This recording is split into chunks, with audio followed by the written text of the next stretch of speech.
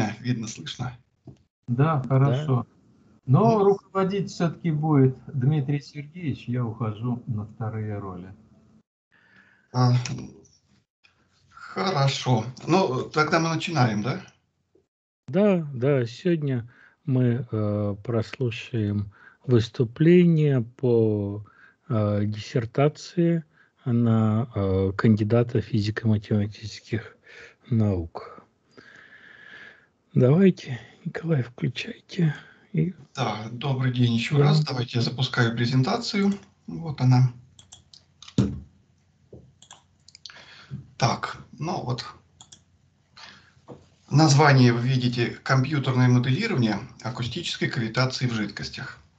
Ну, для начала, конечно, нужно... Вообще слово кавитация, понятие такое, оно достаточно широкое и известное, но немножечко надо несколько слов пояснить, что это вообще такое тем более акустическая кавитация.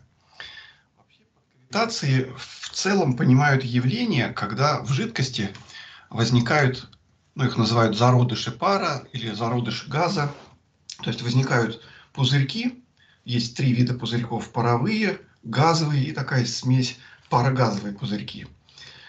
И эти пузырьки дальше как-то себя ведут. То есть чаще всего происходит испарение жидкости, э, вернее, испарение пара внутрь таких пузырьков, меняется температура, давление. Вот. Это вот в целом кавитация. Есть два вида э, таких, два вида кавитации. Гидродинамическая. Вот гидродинамическая возникает в том случае, когда есть поток жидкости, и в потоке жидкости скорость отдельных точек друг от друга отличается. То есть, когда возникают области с более высокими скоростями, э, то вот в этих областях возникает волна растяжения, и, соответственно, тогда возникают области, в которые начинает испаряться пар. Ну, это и есть пузырьки. Вот гидродинамическая. Но в частности, вот я сейчас покажу картинку, э, скажем, при вращении грибных винтов – вот такая как раз так, такой поток возникает, в котором наблюдается гидродинамическая кавитация. Но мы будем говорить про акустическую. Это когда мы заранее э, знаем, что мы будем воздействовать на жидкость определенный, а, с генератором с определенной частотой, ну, например, там синусоидальные колебания. И вот если эта частота лежит в акустической области, то тогда кавитация называется акустической. Ну, какая такая область? Нам всем хорошо известно, да, что э, это область слышимого звука, то есть примерно где-то там от 20 Гц до 20 кГц.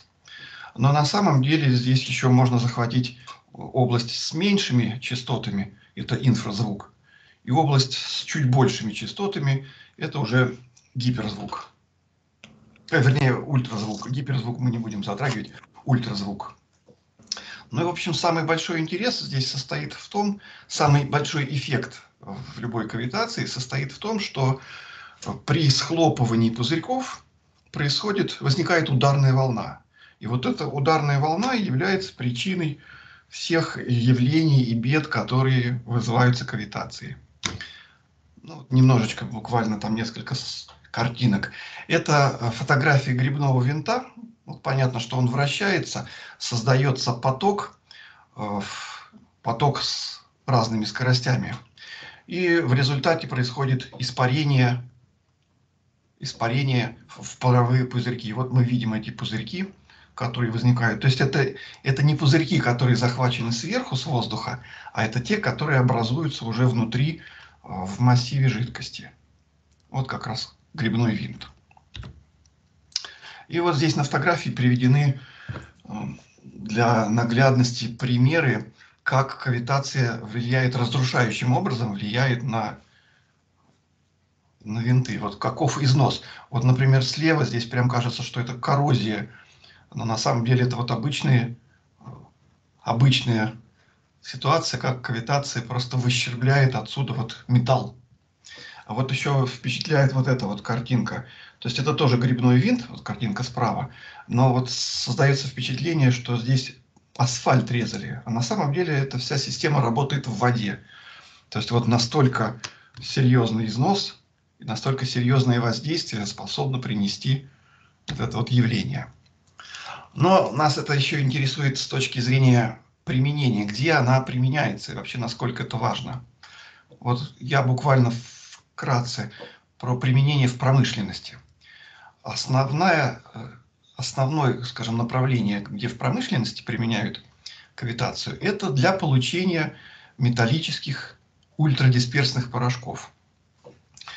Ну, фактически жидкость, э, то есть металлы э, нагревают, они переходят в жидкое состояние, и вот такие жидкости, в такие, на такие жидкости воздействуют, опять же, ультразвуком, либо любой другой частотой, и в результате происходит кавитационный процесс и разбрызгивание вот этой вот жидкости в результате чего получаются ультрадисперсные металлические порошки.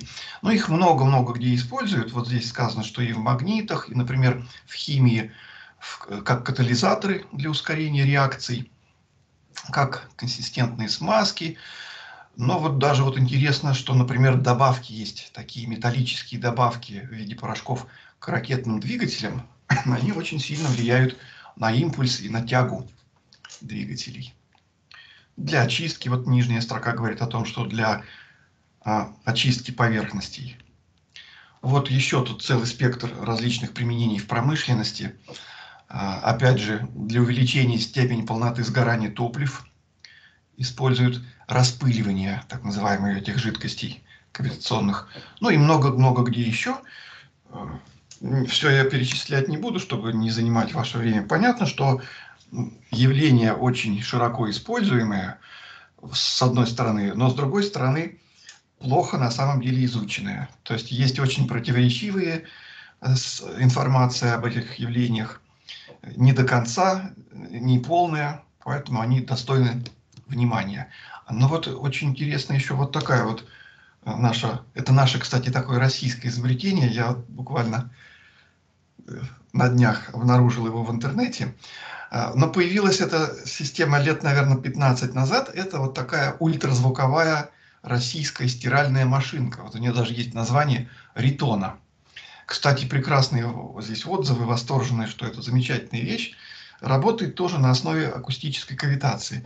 То есть берется стазик с жидкостью и с бельем, в него бросается, опускается вот эта вот часть. Это фактически э, генератор. Генератор работающие на ультразвуковой частоте. Возбуждаются в жидкости колебания вот этих вот кавитационных пузырьков, ну и грязь э, при таком воздействии отваливается. Утверждается, что это работает так. Но, например, применение в медицине, вообще э, применение кавитации в медицине, ну, можно сказать, что просто безгранично. То есть, во-первых, в первую очередь, это так называемая ультразвуковая нейрохирургия и ультразвуковая хирургия. В чем вообще сама идея? Она состоит в том, что точно так же воздействуется ультразвуком на живую ткань, и происходит, ну, за счет вот этих вот колебаний и возникновения ударных волн, происходит разрушение ткани там, где это необходимо. То есть мы режем не ножом, ну не мы, врачи, режут не ножом, не лазером, они режут вот при помощи ультразвука. А, ну, вот при противоопухолевых а, лечении используется, даже вот в онкологии возможно использование кавитации. А, вот интересное я нашел. Да, у меня на следующем слайде тут перечислены э, целый ряд болезней, которые, в которых, при лечении которых кавитация активно применяется, но тем не менее еще мы не совсем понимаем, как это работает. Вот, вот что еще я нашел, где активно применяется кавитация, акустическая именно, это в современной косметологии при липосакции. А, оказывается, пациенту рекомендуется перед процедурой выпить там порядка двух литров воды. Жидкость поступает а, в ткани, и дальше на нее воздействует вот такой приборчик, как ритона. То есть он работает на определенной частоте, на самом деле частоты там от 37 до 42 килогерц. И в течение 20 минут э, врач воздействует вот таким вот ультразвуком на э, организм. Дальше происходит кавитационный процесс, то есть жидкость, которую пациент предварительно выпил, э, начинает кавитировать, пузырек начинает расширяться и вытесняет, вытесняет жировые ткани, жировые клетки, которые затем выводятся через, в общем, выводятся из организма. Вот интернет пестрит предложениями за сравнительно небольшую цену. Процедура так и называется – кавитация. Вот тоже интересное явление с этим связанное, называется сонолюминесценция. Э, замечено, что в кавитирующих жидкостях, ну, в частности в воде, э, при, определенном, при определенных условиях наблюдается свечение. Вот здесь вот два приведены варианта. Это свечение одиночного пузырька, а вот с правой стороны свечение во всей области жидкости. Вот здесь какая-то колба, она наполнена жидкостью, на нее воздействует ультразвуком, возникают гравитационные колебания пузырьков, и в результате чего мы наблюдаем свечение. Вот как одна из эм, версий, вот несмотря, кстати, сонолюминесценция известна с 1930 года. Были первые работы, в которых она описывалась. Но, тем не менее, до сих пор не совсем понятна причина вот этой сонолюминесценции. Но вот как одна из версий говорит о том, что здесь происходит локальное повышение температуры. Ну, в результате чего и есть, возникает свечение. Но эта локальная температура должна быть, ну, если не сказать, иметь значение сотни градусов, то, возможно, даже и тысячи. Ну и, собственно говоря, вот таким шагом, что ли,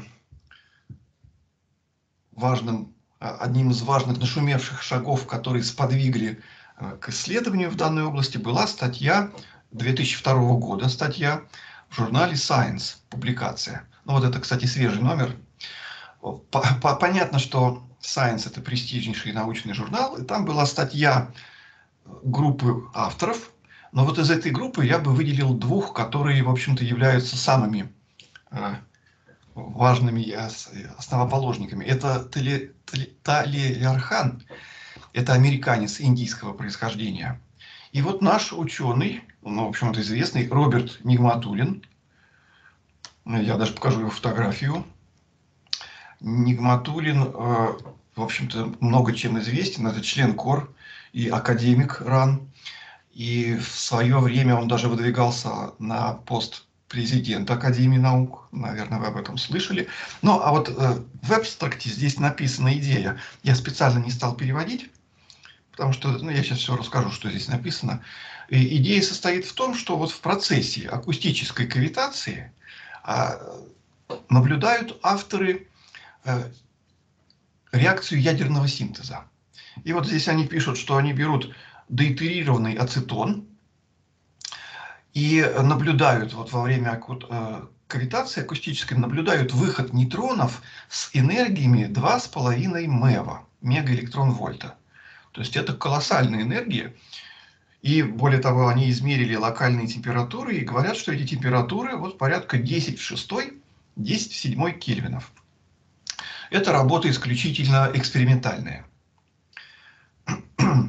Ну и сразу, в общем-то, была очень серьезная шумиха, потому что, ну вот, несмотря на то, что тема такая достаточно, скажем так, она очень часто обходится в физике, потому что это фактически холодный ядерный синтез. И, и очень часто его пытаются обходить стороной, считая, что, в общем-то, он не доказан.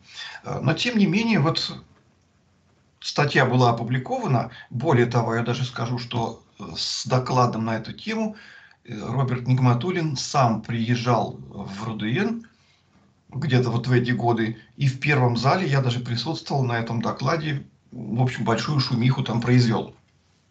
Но это стало тоже как толчком для того, чтобы теоретические исследования на эту тему провести.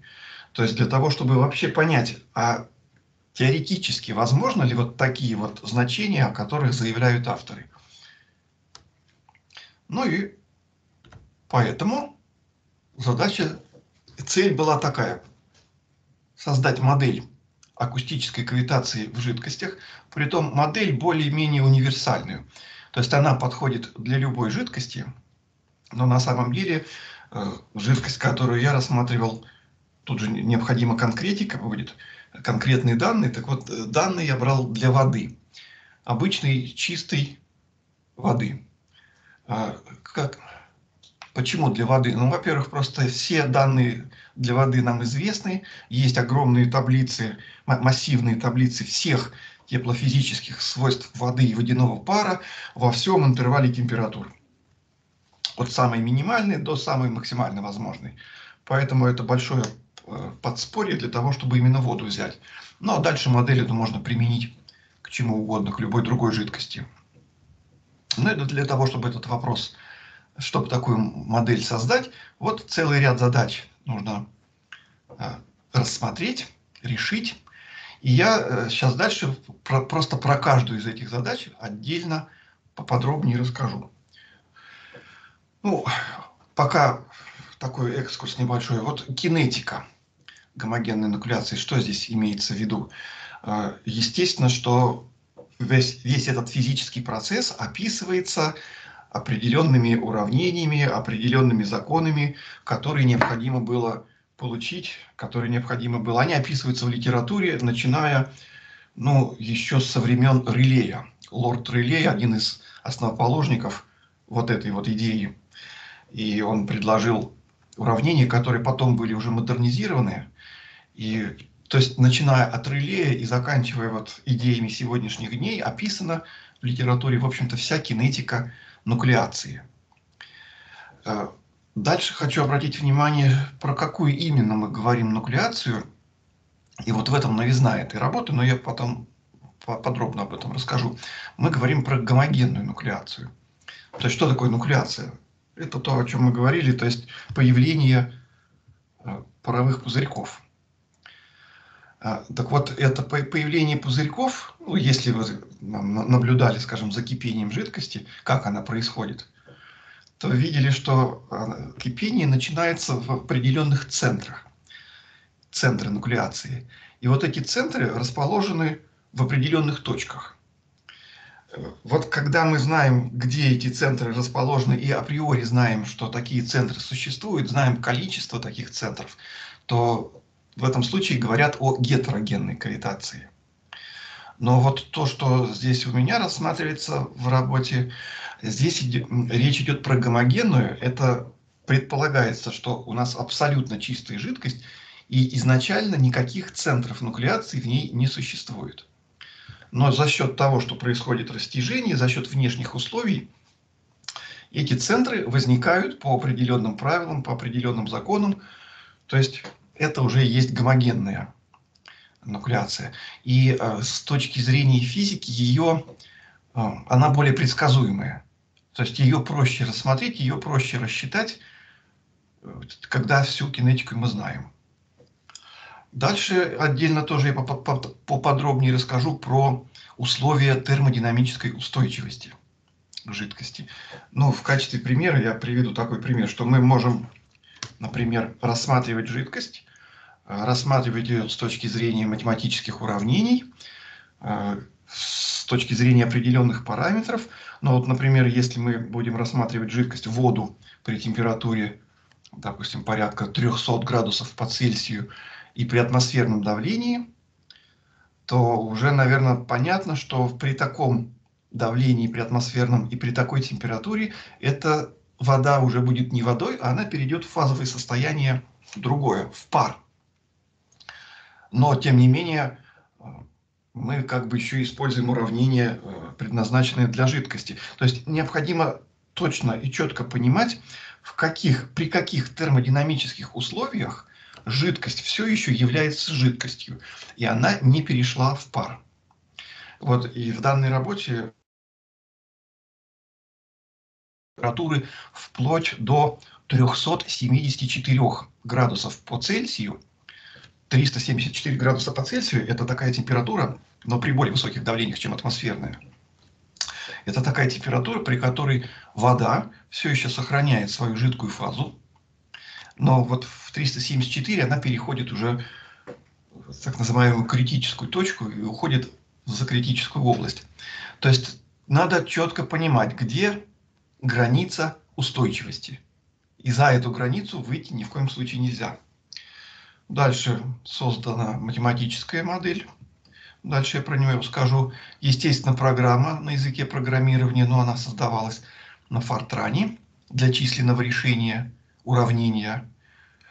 И э, мало того, что нужно уравнение решить, самый большой -то интерес, наверное, заключается в том, что по результатам такого решения, по, по результатам численного решения, можно провести уже такое серьезное исследование динамики пузырьков. То есть посмотреть, где, как, когда, при какой температуре, что с ними происходит, какие размеры, какие давления, какие процессы происходят. Ну и в частности, вот э, мы сейчас говорили об акустической кавитации, то есть об акустическом воздействии на жидкость, но подразумевается, что это гармоническое какое-то воздействие, синусоидальное. Но ведь если создана модель, то можно туда подставить и не только синусоидальные колебания, можно взять любые другие формы внешнего воздействия. То есть давление меняется как угодно. И после того, как модель такая была создана, были попробованы еще два разных вида импульса. Это, ну вот здесь у меня не написано, это просто одиночный импульс.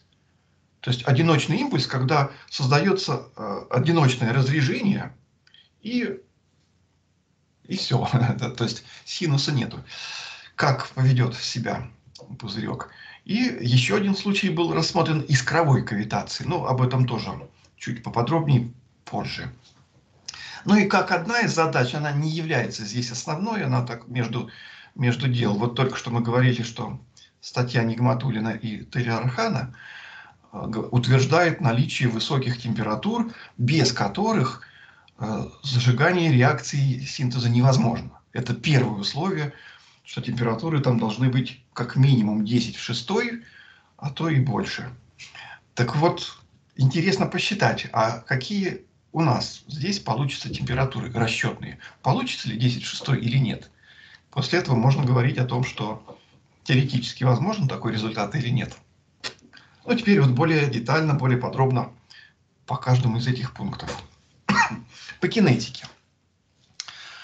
Вот уравнение, вверху приведено уравнение, которое, собственно, является основой, э, на которой все базируется. Оно называет, у него есть разные названия.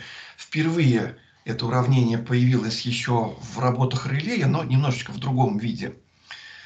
Потом оно много раз переписывалось, переделывалось. Э, сейчас его мы называем основное уравнение кавитации – ну вот вы видите, да, что это не линейное, не однородное, дифференциальное уравнение второго порядка. Вот, основное уравнение. Но я встречал в литературе, в англоязычной литературе такое название, как уравнение RPNNP. Это большими буквами аббревиатура. Это первые буквы от фамилий Рейнольдс, э, Непар, ну, Рейнольдс, Плесет, Нолтинг, Непайрос и Парицкий вот это четыре человека, которые свой вклад внесли в написание, создание такого уравнения. Вот оно. Но что здесь интересного?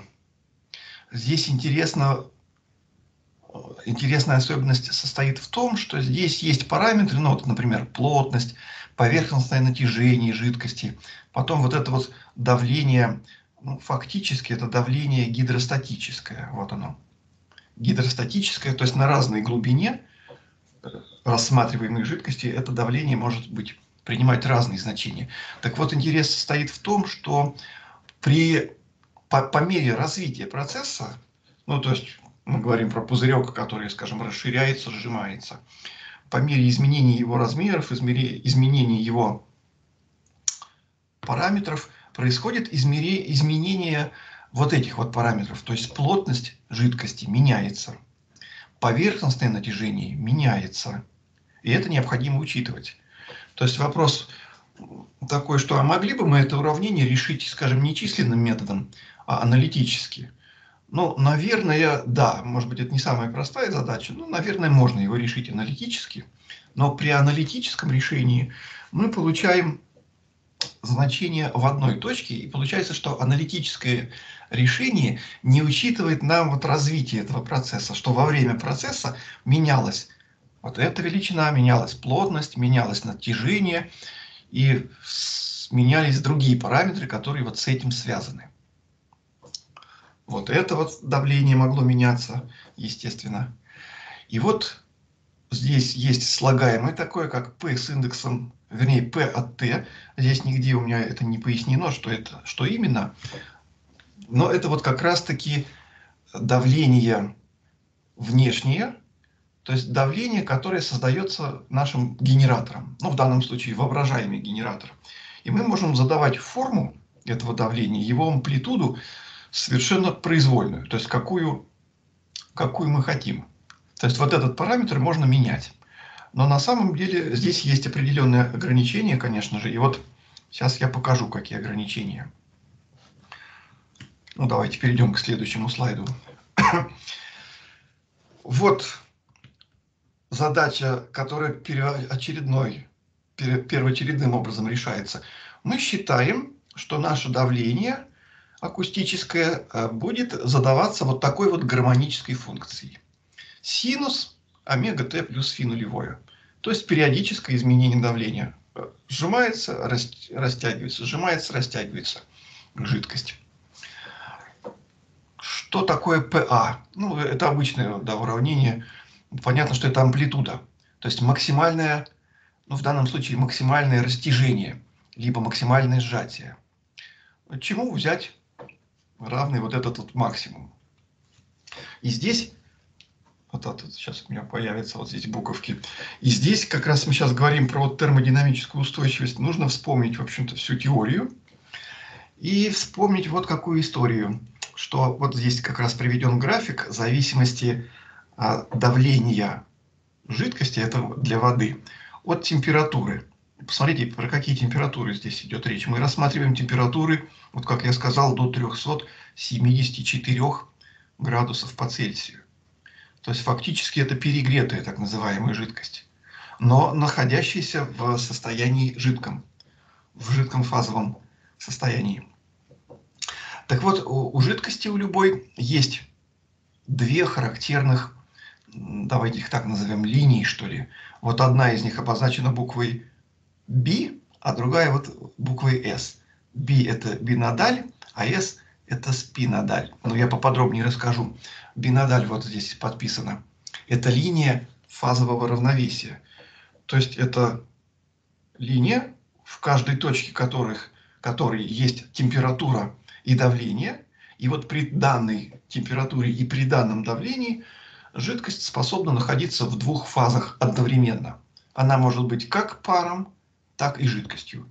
И при этом одна фаза в другую не переходит. Ну вот мы знаем, например, что для воды тройная точка как раз-таки лежит именно на, би, на бинодале. То есть тройная точка это 0 по Цельсию при атмосферном давлении. То есть лед остается льдом, жидкость остается жидкостью, пар остается паром. Никто друг друга не мешает, взаимных превращений не происходит. Вот вся эта линия, это как раз-таки она и есть. Ну вот для, для примера, да, вот 340 соответствует вот этой точке, 340 градусов по Цельсию, но при давлении, ну, чуть меньше или там порядка 15 мегапаскаль, мы имеем двухфазное состояние.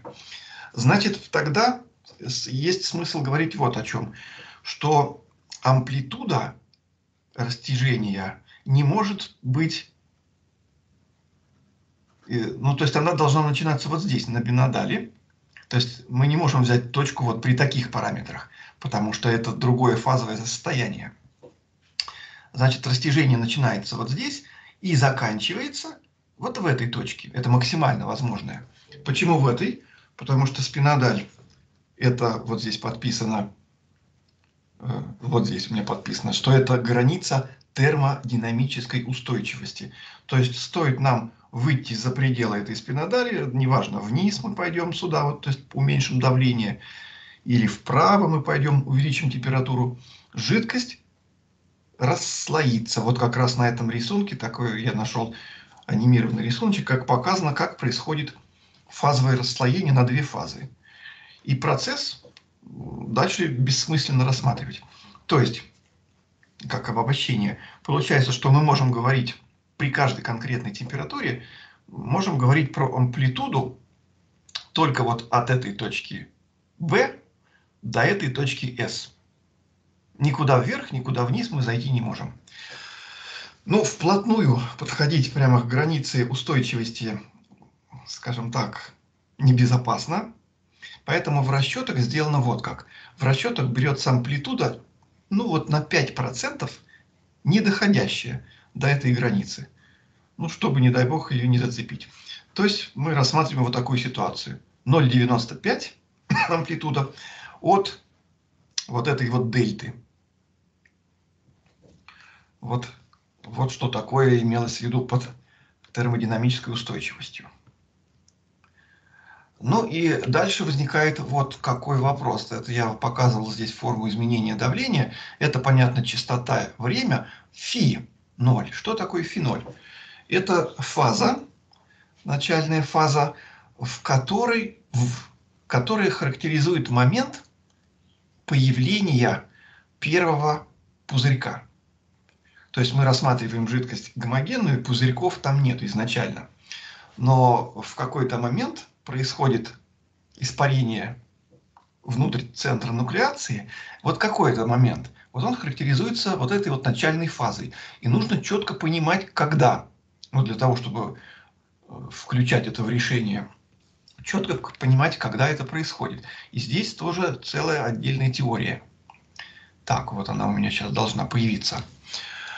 А, опять же, вся литература предшествующая указывает, что этот момент – этот момент определяется вот таким соотношением. То есть э, амплитуда, отнесенная к давлению, при котором, это P1, давление, при котором появляется один пузырек в одном кубическом сантиметре. Вот фактически же мы сейчас говорим не только о начальной фазе, но мы говорим о времени. Ведь если мы знаем начальную фазу, то мы и знаем частоту нашего воздействия то, так, акустического, то это значит однозначно определяет время, начальный момент, в который происходит появление первого пузырька. Поэтому э, есть такое выражение, оно тоже берется из теории э, гомогенного зародыша образования. Здесь я не стал всю эту теорию проводить, приводить, она такая достаточно объемная. Ну, вот взял только конечный результат. Конечный результат говорит вот о чем. Что рассчитать это время вполне такая решаемая задача. Здесь есть э, ряд коэффициентов, вот коэффициент k, коэффициент I. Это очень большие такие сложные коэффициенты, э, которые зависят от текущих параметров жидкости. Ну, что я имею в виду, текущие параметры? Есть плотность, есть поверхностное натяжение, ну вот как минимум, есть мю, коэффициент вязкости, есть кинематическая вязкость, есть динамическая вязкость. И несмотря на то, что мы вроде бы там, в общей физике говорим, что это константы, но на самом деле это совершенно не константы. А вот в рассматриваемом нами диапазоне температур, оказывается, я сейчас покажу, что эти совсем не константы меняются в разы и даже в десятки раз. И это необходимо обязательно учитывать. Поэтому вот они, эти коэффициенты. И ну, здесь интегрирование происходит вот из какого расчета, что мы, вот эта единичка, это фактически э, количество пузырьков, вот он, первый пузырек мы получаем. Это интегрирование на самом деле можно провести было и аналитически, но коль скоро у нас тут такая задача э, математическая, то интегрирование проводилось, вот как раз программа численного определения времени растяжения, проводилась численным образом. То есть тоже программа на Фортране, которая ну, это на самом деле совсем не несложная программа, та, которая э, складывает, вот здесь производит сложение до тех пор, пока сумма не будет равна единице. Как только она равна единице, происходит остановка, и, мы, и программа выдает результат. Какое же там время? Вот это время T1. Но, соответственно, знаем время, дальше можно пересчитать его в начальную фазу, зная частоту. И вот тогда мы получаем то самое внешнее давление, которое PA умноженное на синус вот аргумента. А, да, дальше я сейчас скажу о том, что а, здесь выбран метод Рунгекута для численного решения уравнения кавитации. Почему именно такой? Ну вот здесь во второй главе я подробно а, а, расписываю, в общем-то, что это за метод, а, все, со всеми деталями. Я не стал тут более подробно приводить, это, это просто вот из оглавления взято, что это за метод, какие там погрешности, как выбрать Э, какой шаг э, оптимально выбрать. То есть здесь есть четкая аргументация, почему мы именно берем методы Рудгекута, то есть наиболее подходящими для решения вот именно данной системы уравнений. Это именно система получится двух уравнений, я это покажу чуть позже. И почему здесь вот именно такие методы применимы? Ну вот на этом сейчас точно не буду останавливаться. Итак, в целом модель как она выглядит.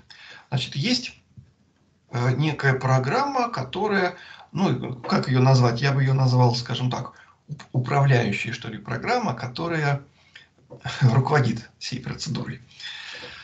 Э, я сейчас поясню, как это происходит. Изначально в нее вводятся начальные условия. Что является начальными условиями? Начальными условиями э, мы задаем в первую очередь температуру, начальную температуру жидкости.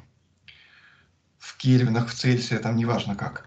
Э, понятно, что во время процесса рассматриваемого, рассматриваемого внутри пузырька температура, конечно же, меняется. Почему это происходит? Ну, если происходит коллапс, коллапс, да, по-разному его называют, схлопывание пузырька, то происходит локальное увеличение температуры, потому что это очень быстрый процесс – жидкость не успевает, вернее, пар внутри не успевает конденсироваться и превратиться в жидкость, ну и вот это приводит к увеличению температуры. Значит, здесь мы задаем начальными, в качестве начальных условий температуру и на самом деле давление внутри жидкости. Плюс еще должно задаваться гидростатическое давление. То есть э, высоту, глубину фактически мы задаем. Дальше понятно, что программа просто так работать не может, она должна запросить вот все эти параметры, о которых я до этого говорил, плотность жидкости, вязкость, такую вязкость, вернее, коэффициенты вязкости, есть разные коэффициенты вязкости, все это запрашивается в э, таблицах.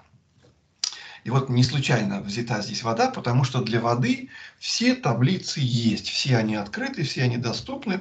Есть так называемые а, табличные, ну, таблицы теплофизических свойств жидкости, они изданы, где с точностью, э, с шагом в 1 градус все вот эти параметры есть. Но понятно, что у нас программа-то работает с более мелким шагом, поэтому э, это слишком крупный для нас шаг 1 градус, поэтому, конечно же, данные необходимо аппроксимировать. Ну, потому что более тонких данных, более мелких шагов мы нигде больше получить не можем.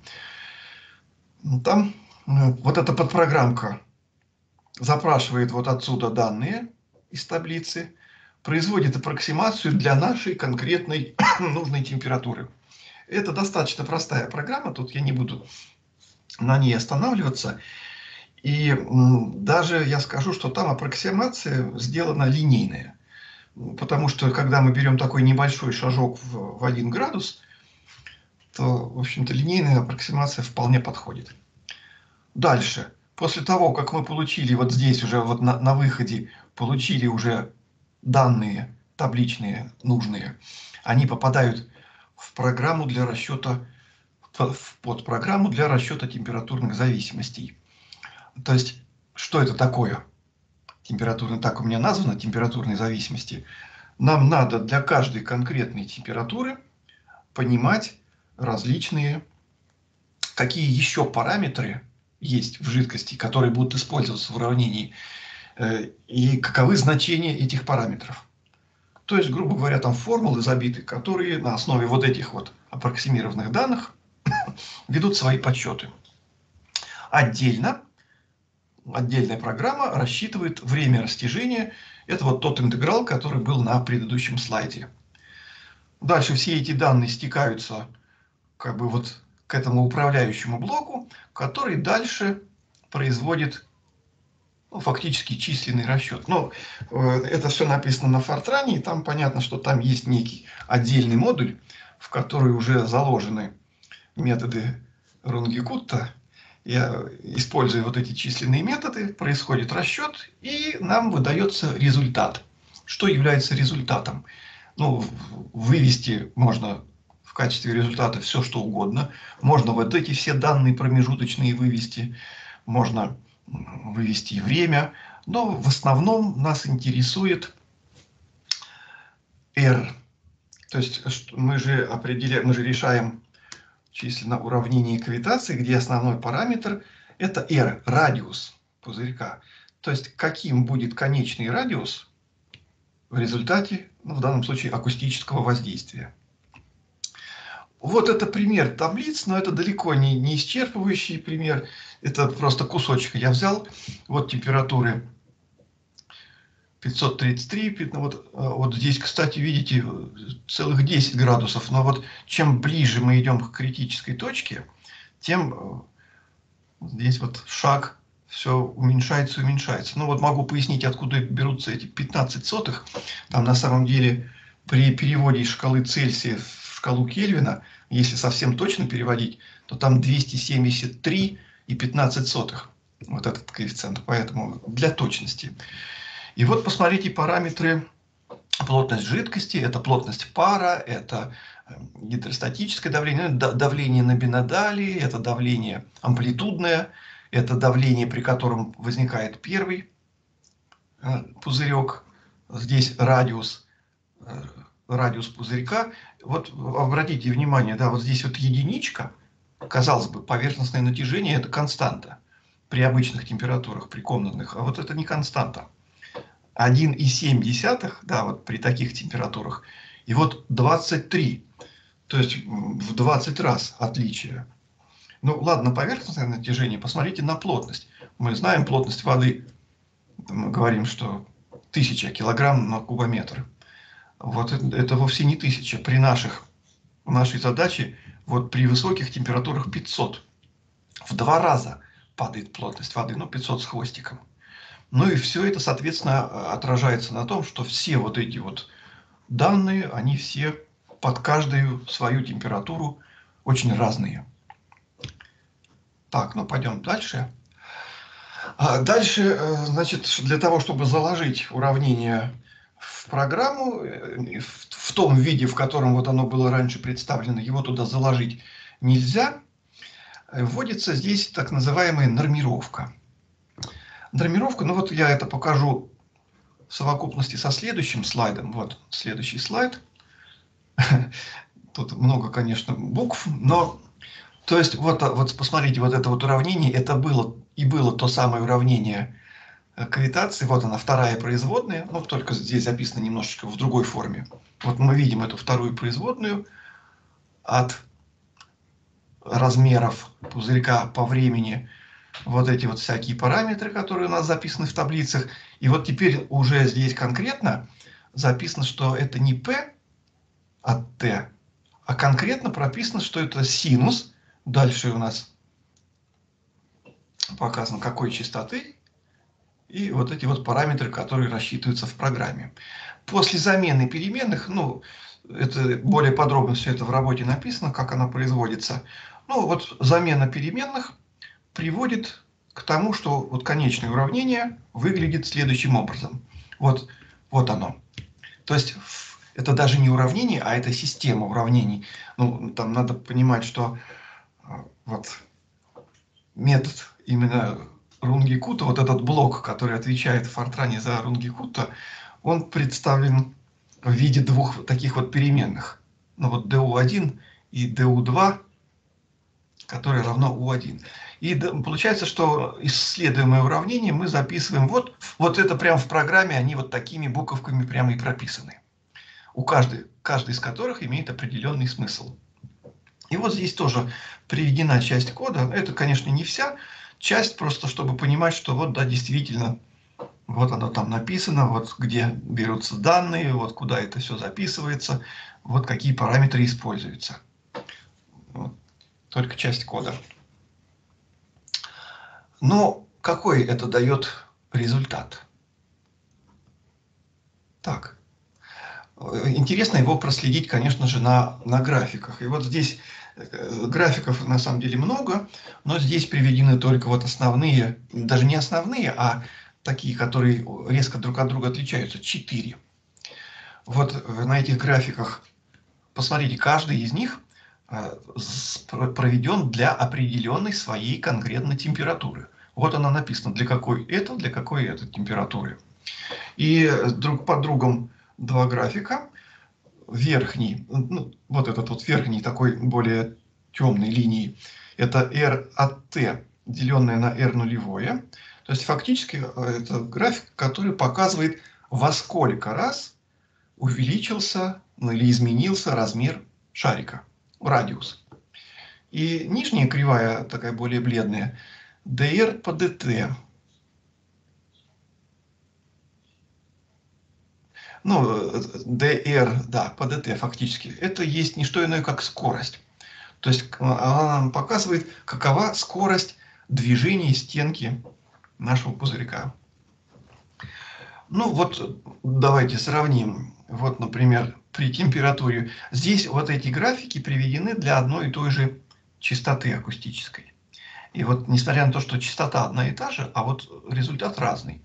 Вот здесь мы видим, что ну, небольшие какие-то осцилляции происходят, но вот в одну и там две десятых раза изменяется. Не, незначительно, да, порядка там 10-20%. А вот при, казалось бы, 3 градуса, на 3 градуса изменилась температура, и вот мы уже видим в 3 с небольшим раза возникает увеличение размеров. Но интересно, например, вот этот вот э, график четвертый. Здесь мы наблюдаем после небольших осцилляций такую вспышку, даже не вспышку, а э, увеличение почти в 10 раз, а потом сразу в 30.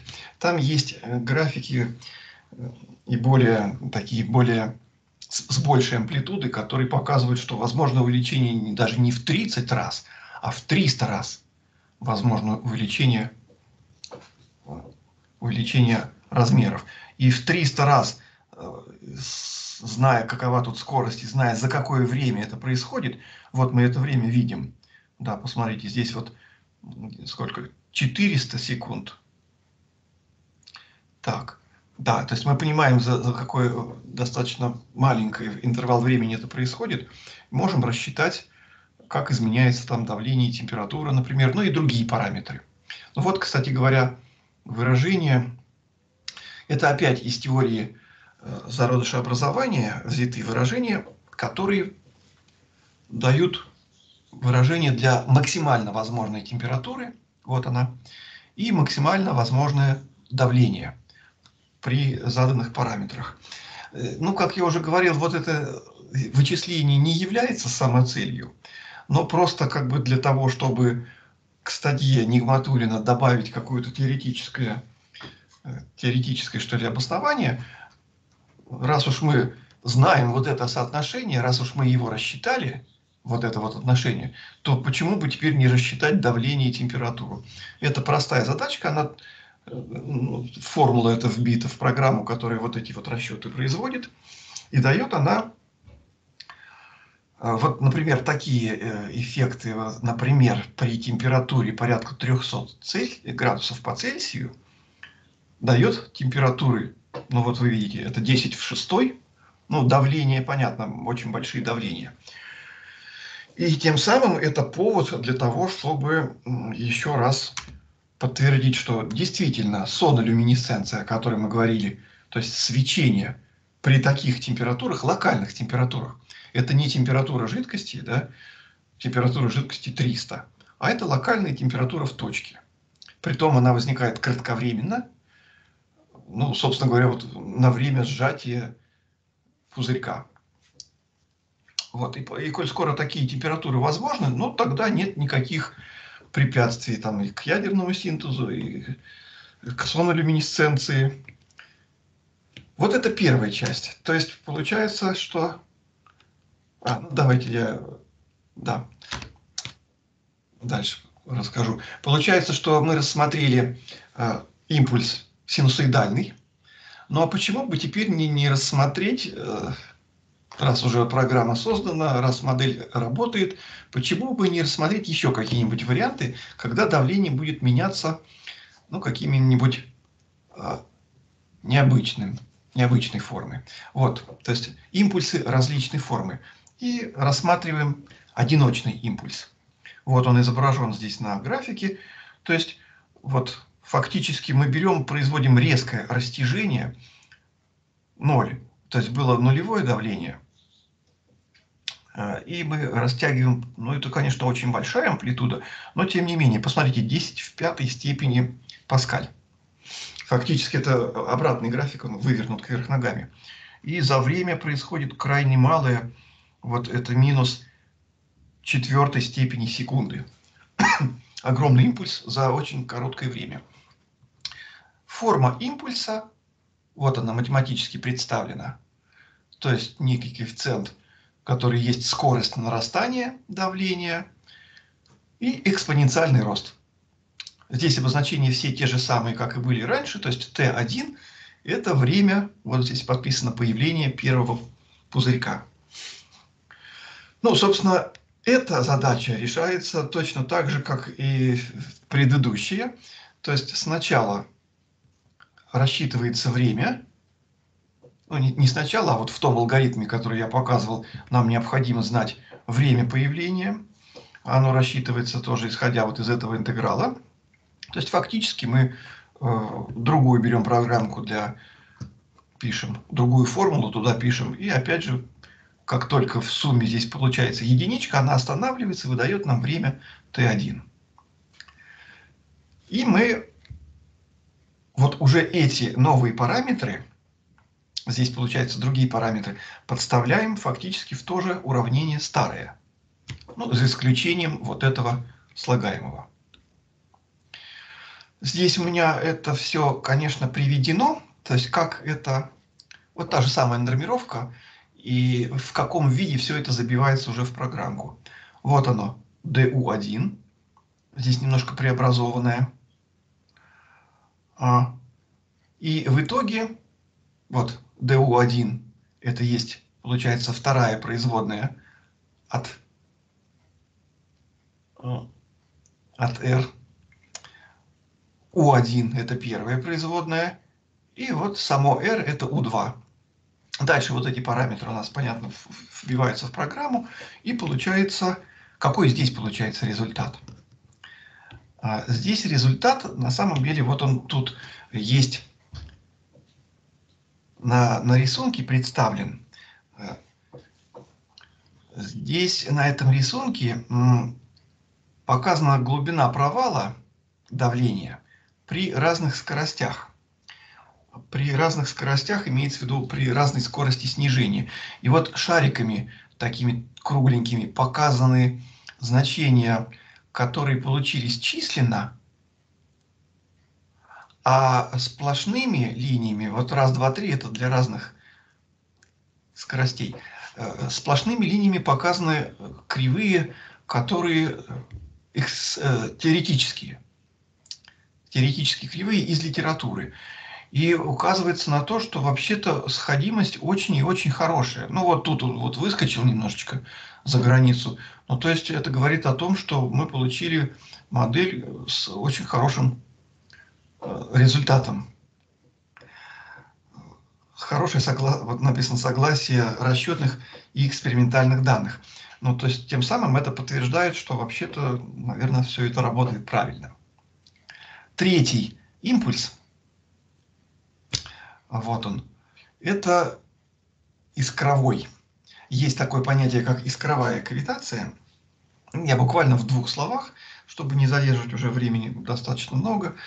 То есть, э, если рассматривается диод, вот система некая подобная диоду, и в этом диоде э, катодом является, катод изготавливается в, фирме, э, в форме острия, то если подать очень большой импульс тока на такую систему, то вот это острие, если оно достаточно тонкое, при прохождении через него тока, оно расплавляется, переходит в жидкую фазу.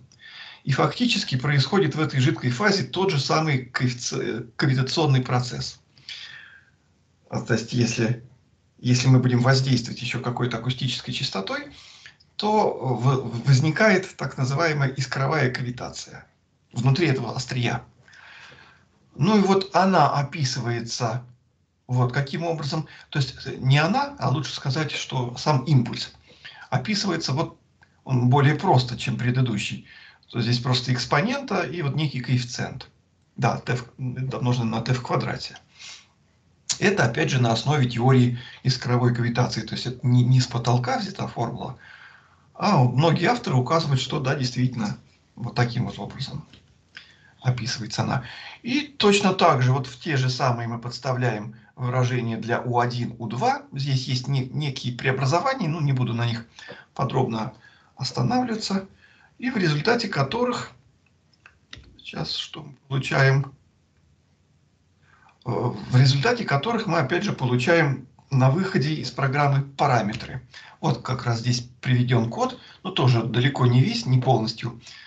А, как раз программка для численного решения уравнения искровой кавитации. Вот те самые параметры, которые на предыдущем слайде сейчас были, вот они здесь в программе как раз таки есть. Вот она та самая экспонента t в квадрате.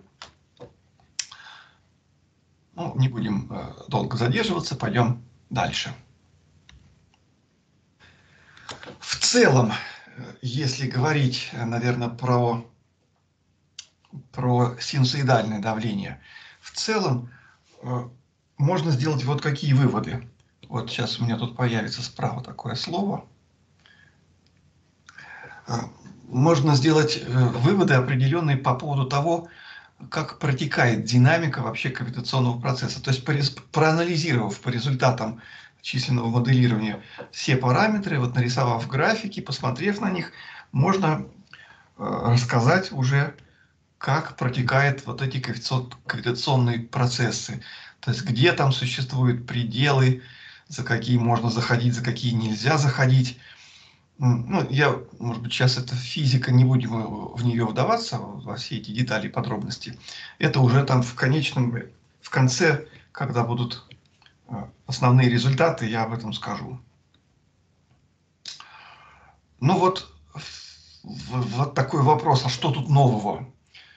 На самом деле ведь попытка, это далеко не первая попытка э, создать такую модель кавитации, но на самом деле новизна, наверное, состоит, ну, отчасти, вот я тут четыре пункта таких выписал, в том, что мы говорим про гомогенную кавитацию. Я об этом уже вначале говорил вот все попытки, которые до этого существовали, говорили о кавитации гетерогенной, и она, по большому счету, где-то я читал такую фразу, что она плохо предсказуемая. Все-таки гомогенная предсказуемая лучше, э, и зависит от параметров, начальных параметров жидкости. Поэтому новизна в том, что мы рассмотрели чистую жидкость. И вот такой вот процесс.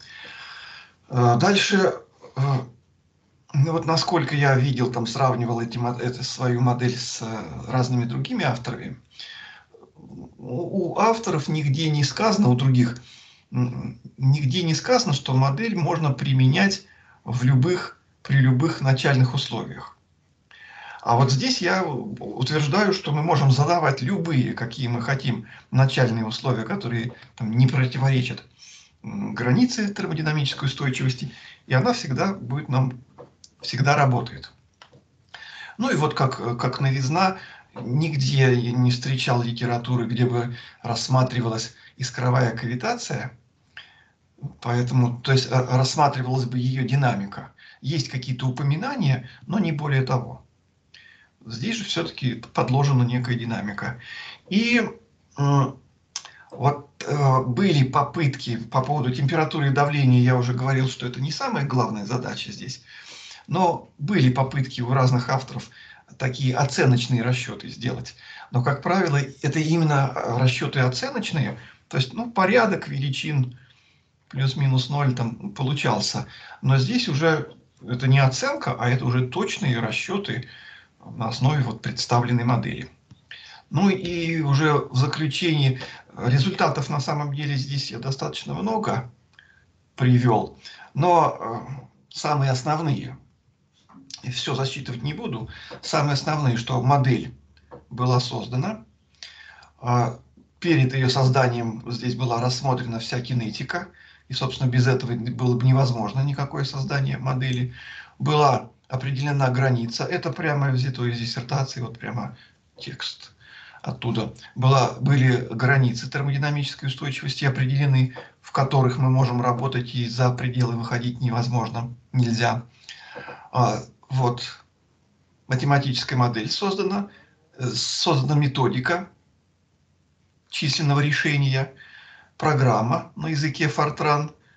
Это решение сделано, а затем анализ этого решения а, позволил дальше установить, что вот при таких-то температурах и происходит, и при таких-то частотах у нас, скажем, происходит а, изменение размеров, посмотрите, колебания от самых небольших до, вот при частоте в 250 Гц, даже расчет говорит о том, что размеры пузырька могут вот при данных параметрах меняться, но это максимально предельно допустимые, до 2 миллионов раз.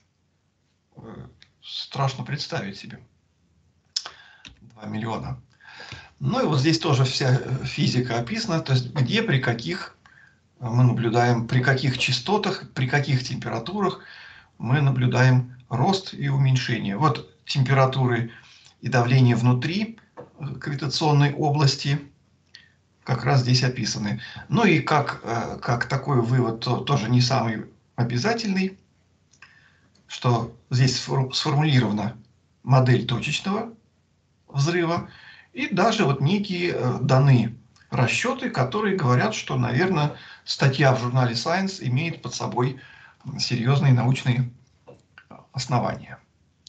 Ну и в, заключение я хочу сказать, что эта работа не один год велась, и э, есть достаточное количество публикаций, но в частности всего в общей сложности опубликовано по результатам 29 научных работ, из них 6 это в международных базах данных, ну это за, за весь период ВОЗ и Скопус, и в ваковских журналах 10 работ, ну здесь я посчитал еще два свидетельства о регистрации программы, поскольку вот они у нас считаются как ваковские, поэтому в этих 10 еще две программы. Ну вот, если есть какие-то возникли вопросы, то я с радостью на них отвечу. Большое, Большое спасибо. спасибо. Я за, закинул, так, может быть, вижу. вижу. А вот Михаил, Михаил Дмитриевич. Дмитриевич. Да, да, я готов. Можно? Конечно, да, конечно. А не могли бы вы открыть карти... Э, слайд номер 23? Да, давайте, сейчас мы его найдем. Там как раз картинки. Вот, да. Вот э, если приглядеться, очень хорошо видно, особенно вот на нижнем правом графике, хотя да. на остальных, в принципе, тоже, угу. что у вас э, график имеет излом, производная скачком меняется, и, соответственно, ускорение становится очень-очень большим числом. Не кажется ли вам, что у вашего нелинейного уравнения имеются особые точки подвижные?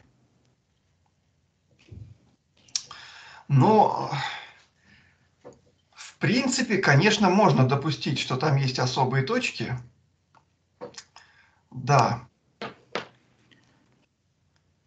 В таком случае ну, я позволю себе продолжить и сказать следующее. Да, Если да. бы вы оценили ошибку по Ричардсону, вы бы заметили, что когда вы подходите вот к таким точкам, угу. ошибка у вас становится очень-очень большой. И ну, есть целый ряд тестовых примеров, которые говорят о следующем, что вот если вы применяете любой явный метод, например, метод Рудгекута, и подходите к подвижной особой точке, вы ее перелетаете и э, случайным образом просто перескакиваете на другую интегральную кривую. И вот то, что я вижу, мне очень напоминает эту ситуацию. И поэтому вызывает определенные сомнения в корректности применения метода Рунгекута в данной ситуации. Вы при разных сетках пытались посчитать, при разных шагах? При, да, естественно, при разных шагах. То есть здесь может быть как решение проблемы, ну, возможно, уменьшение шага. Да, для того, чтобы действительно, как вы говорите, эту точку не, пере, не перепрыгнуть. Поэтому мы пробовали, естественно, с уменьшением шага, но и результат всегда один и тот же. Поэтому вот, может быть, вот таким образом мы смогли бы решить. Но, да, я с вами согласен, да, это хорошее очень замечание. Хорошо, спасибо, я понял ответ.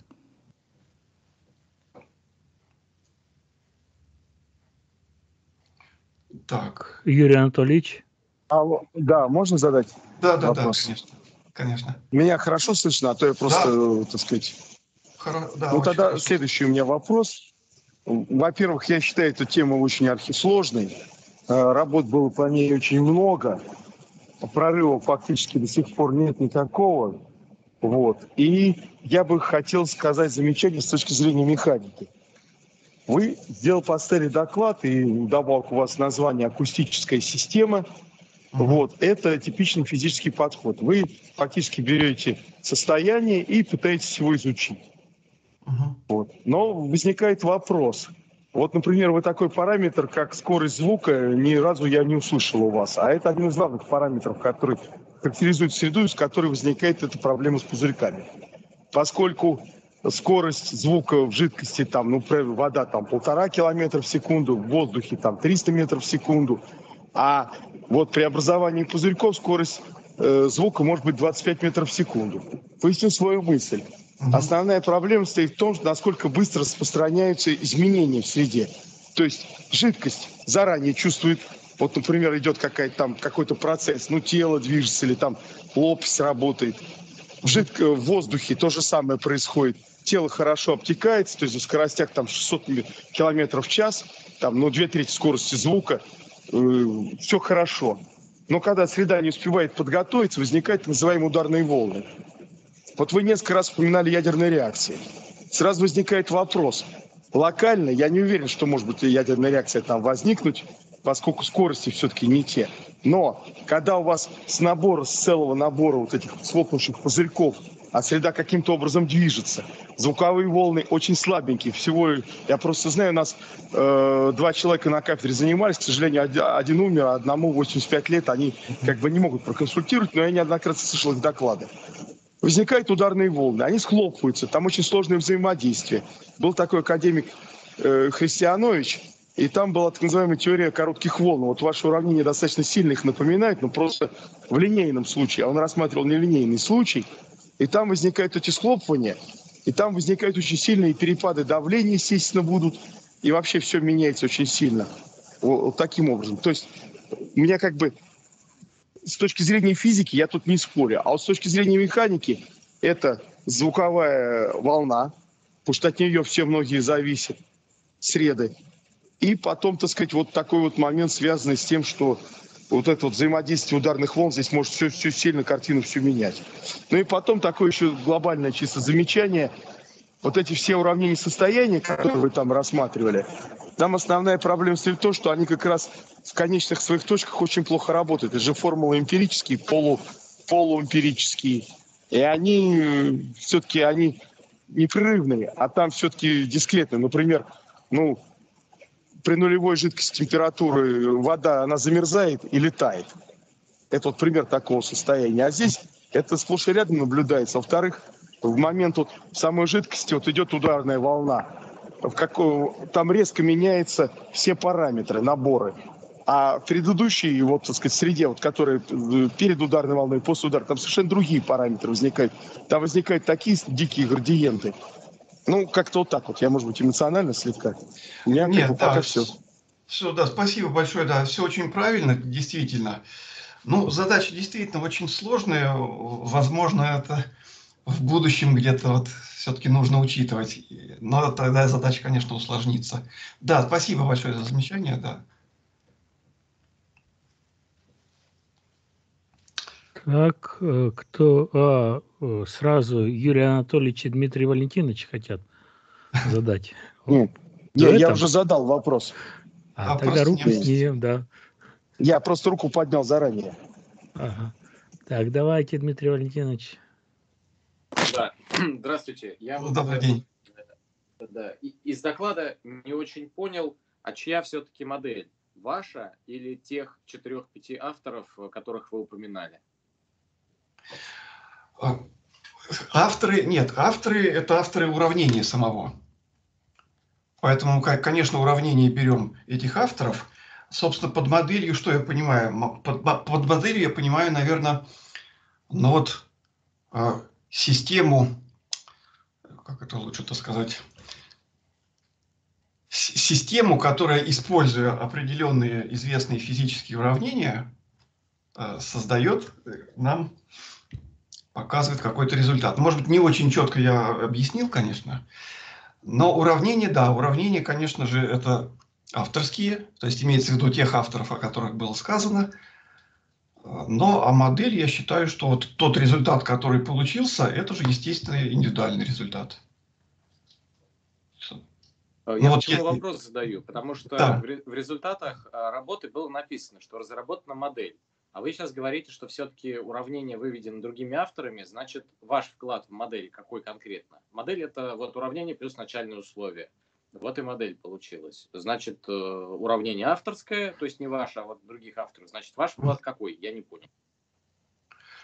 То есть Позвольте, пожалуйста, мне несколько слов сказать. Конечно же, разработана модель – это неудачное высказывание. Его нужно изъять.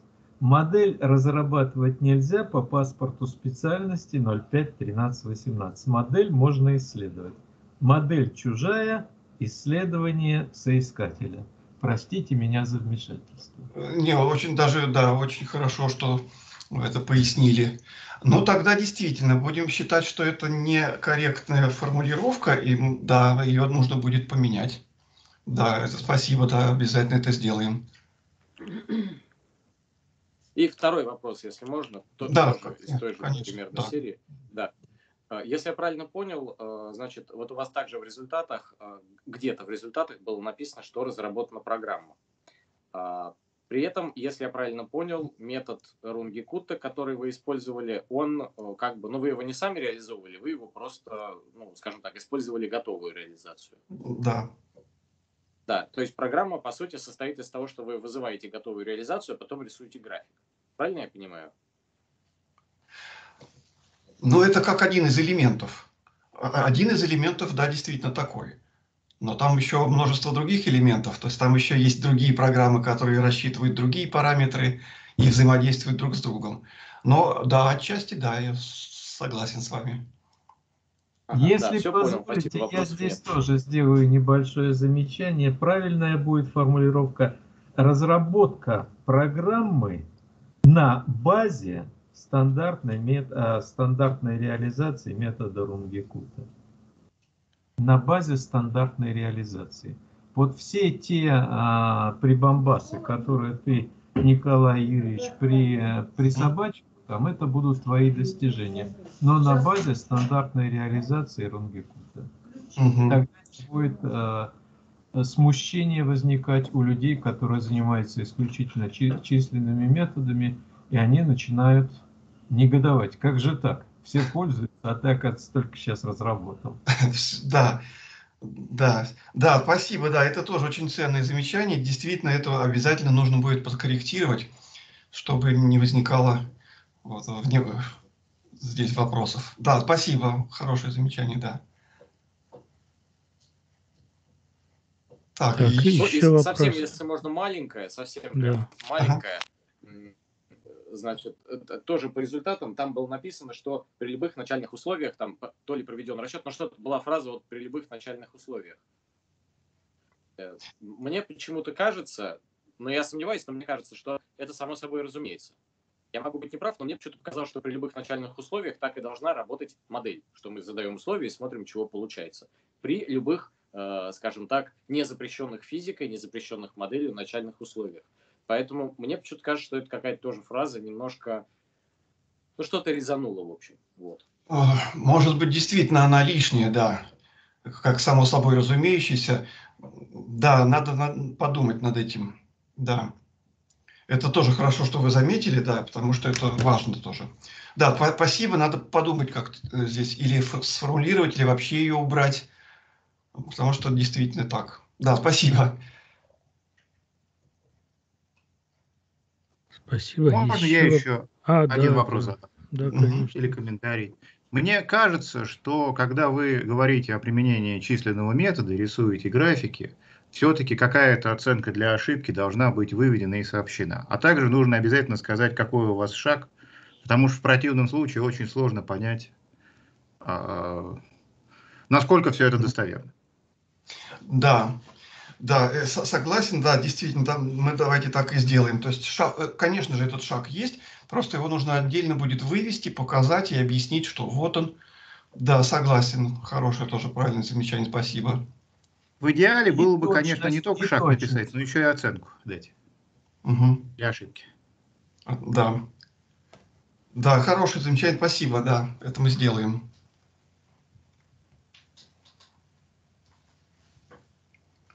Так, еще, может быть. А, еще вопросы? Тогда позвольте я выскажусь. Угу. Вопросы задавать я не буду. Извините.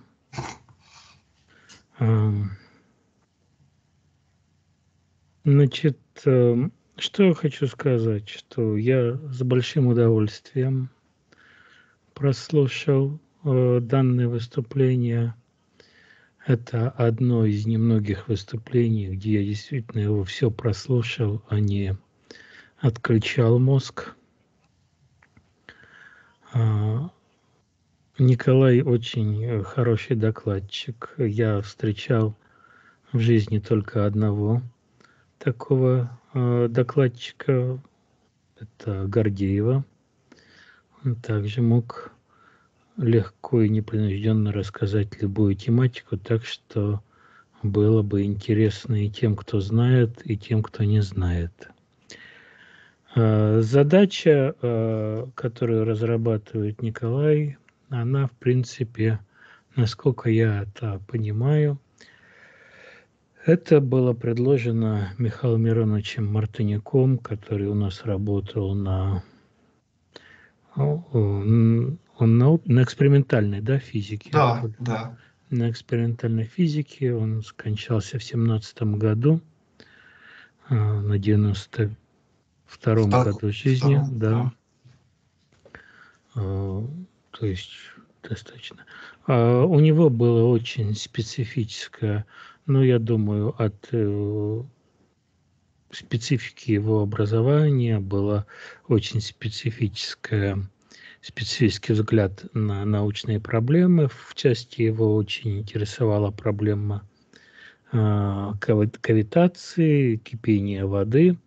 Э, ну, правда, э, следует отметить, что он к, к этой проблеме сводил потом э, практически все э, явления физические. И э, фактически то, чем занимается Коля, это, с одной стороны, продолжение этих исследований, завершение этих исследований в какой-то степени и амаш Михаилу Мироновичу.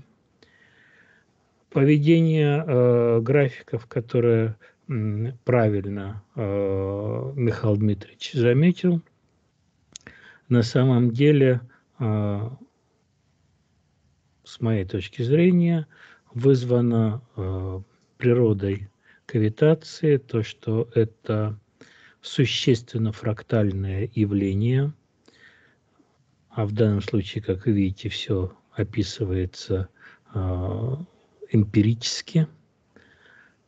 На каких-то эмпирических данных никакие глубокие физические модели не привлекаются. Поэтому у нас э, из-за этого возникают такие вот неприятные э, точки, где производная терпит разрыв, поскольку в одном каком-то раз, разрешении рассмотреть вряд ли получится эту проблему. Ну, на это указывает и то, что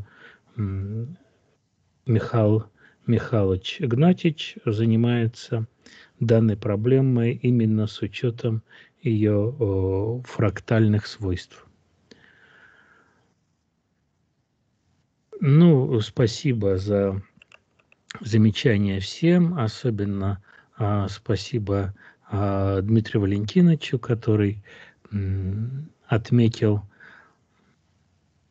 скажем так, э, подход Николая, поскольку Николай э, занимался физикой, а не мат-моделированием, поэтому он э, не всегда понимает тонкости паспорта данной специальности, и Дмитрий Валентинович указал э, на не совсем верное понимание этих тонкостей.